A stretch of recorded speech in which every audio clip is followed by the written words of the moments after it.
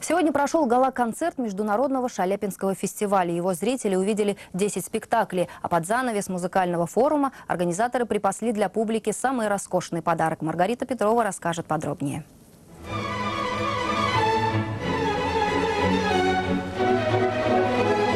Сорока из этой оперы Россиня, так и составители гала-концерта собрали для зрителей самое блестящее. Во-первых, программа. Большинство арий услышать в Казани можно очень редко. На сцене оживали то принцесса де Буйон, то чешская русалка.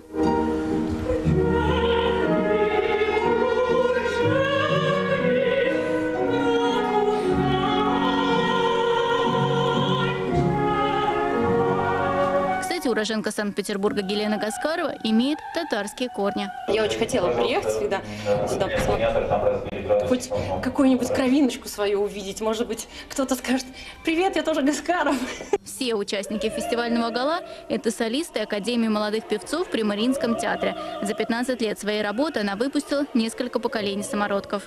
Музыкальность, артистизм и, конечно же, музыкальная подготовка. Надо уметь петь ритмично, хорошую память иметь. И выглядеть сейчас нужно э, очень хорошо. И особенно девочкам молодым мы на это обращаем большое внимание.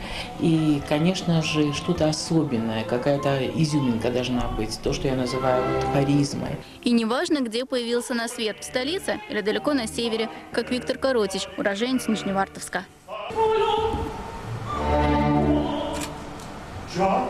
Scritto В прошлые годы организаторы старались созвать на фестиваль лишь суперзвезд, а в этом впервые половина приглашенных солистов – молодежь. Впервые гала-концерты не станут финальным аккордом. Музыкальный форум завершит еще одна премьера. Маэстро Валерий Гергиев везет в Казань, пожалуй, самую шаляпинскую из всех опер, единственную, написанную специально для него. Это Дон Кихот Джулия Масне.